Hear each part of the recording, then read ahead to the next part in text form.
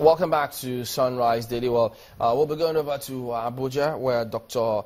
Uh, Abdulkadir Mua'zu joins us. He's the former team physician for the Super Eagles and the chairman of NFF Medical Committee. Good morning and thank you for joining us.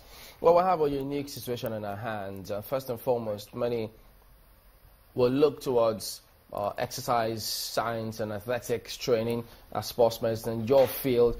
And then we'll look at our sports centers, several of those other areas where uh, NFF football activities go on regularly, and we don't see the kind of health facilities we should. Well, perhaps we should even start from all of those areas and get to get your perspective on this matter. Is this something that the NFF has paid or had paid attention to previously, or are you still looking to improve the kind of health facilities we have in our various sports centers for a start?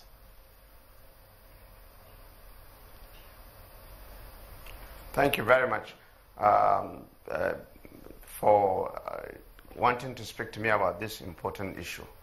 Uh, for a long time, uh, both the Nigerian Football Federation and the body responsible for football league in this country have paid attention and made significant investment in ensuring that those who play football uh, have access to decent medical care and that they play football in a very safe uh, environment. They have access to emergency response and they are taken care of. Uh, so it's not true that the NFF has not done anything about it.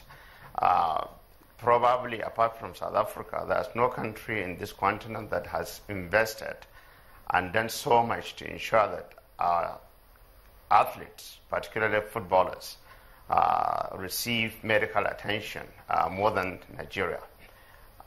We have uh, within the Nigerian Football uh, Federation Medical Committee specific guidelines that require that each person playing football, whether for the national team or for any club in this country undergoes an annual comprehensive medical assessment. We call it pre-participation medical assessment. And that involves detailed physical examination with particular emphasis and attention to musculoskeletal system and the heart. And then detailed investigations with a minimum of 12 lead electrocardiogram, ECG. And we also ensure that referees and coaches undergo periodic medical assessment to have a baseline information about their health.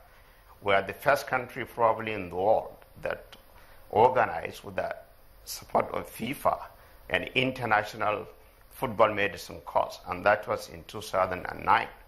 And with the facilitation of the NFF and the LMC, the football uh, um, management company, we organized another international sports emergency football medicine course in 2014, where we brought all team doctors and medical personnel for the Loop Club to undergo a comprehensive hands-on course on emergency uh, football medicine. During that occasion, emergency medical bags that are distributed by FIFA containing all emergency medical equipment, including automated external defibrillators, were distributed to these club doctors. We also have guidelines where there are requirements for medical support before matches are played in all the stadia. At the national level, we have very good resource in sport medicine. We undertake periodic medical assessment every year or before any major tournament for our national athletes and for our officials. So we are doing a lot.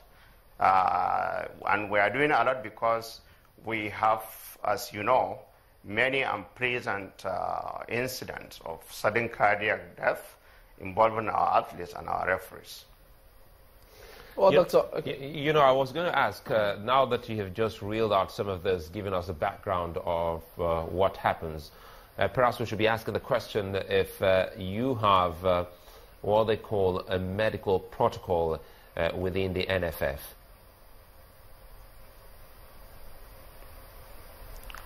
Yes, we, we do, and that's just what I have tried to explain.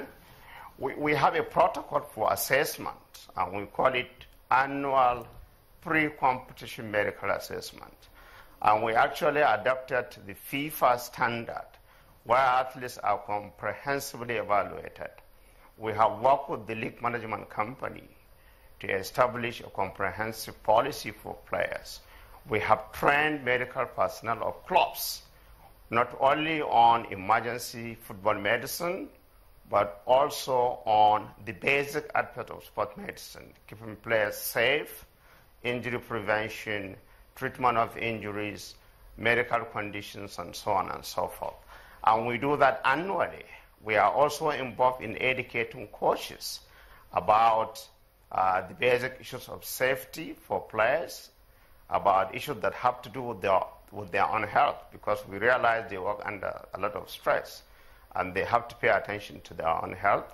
They have to take greater responsibility for ensuring that they are healthy because they are human beings and many of them have morbid conditions. Some are hypertensive, some are diabetics, and so on and so on. So if you appreciate the circumstances under which they work, you should realize that it's important for them to be educated and reminded often about the need for them to pay attention to their health.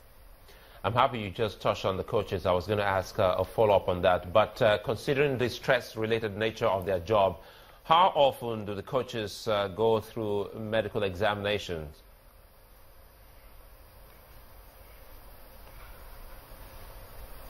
As often as possible. Uh, what should, everybody should understand is that uh, in sport medicine certain those responsible for providing medical support to athletes and officials are only able to do so when they have these athletes and officials, and that is periodic. So each time they come under our care, we try as a protocol, as a routine, to ensure that we know what their health conditions are. For coaches, uh, and I say this uh, with some pride, that we have followed the health status of especially the national coaches for many years. These are confidential issues that cannot be discussed publicly.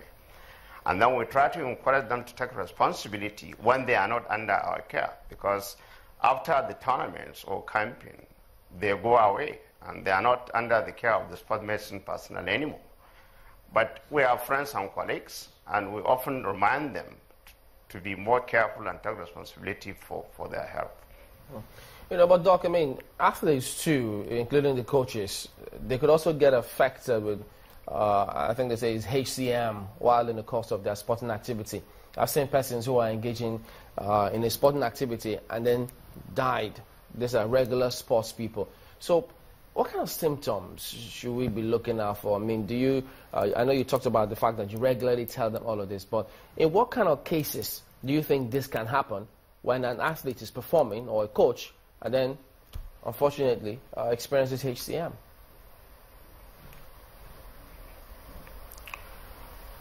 Well, I, I, didn't hear the last word we said, but I listened to Dr. Babatunde answering your question about athletes slumping or collapsing on the pitch and dying. And I heard his responses. But what I want uh, to explain is that the two scenarios of what has just happened to our very good friends and colleagues uh, and what happened on the pitch may not necessarily be the same.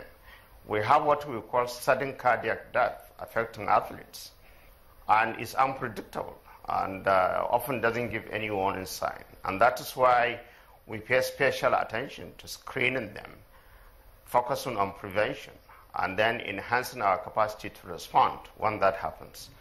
Now, in cases of sudden cardiac death, athletes are physically very fit uh, often without any evidence of any medical condition. Uh, and at, at, the height of their activity, and we're aware of this as a nation, uh, prominent athletes have died. They just collapse and they die. mostly it affects black uh, athletes or uh, much more than Caucasians. And we have identified the causes. Many of them are issues that have to do with the structure of the heart. Uh, we call hypertrophic cardiomyopathy for whatever reasons.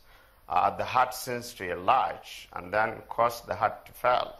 And they go into what we call fibrillation. Instead of the heart functioning as a regular pump, uh, it just goes into a bizarre type of weak uh, fibrillation and they collapse and die. And the other causes uh, have to do with the structure of the arteries and so on and so forth. It's extremely very difficult to predict.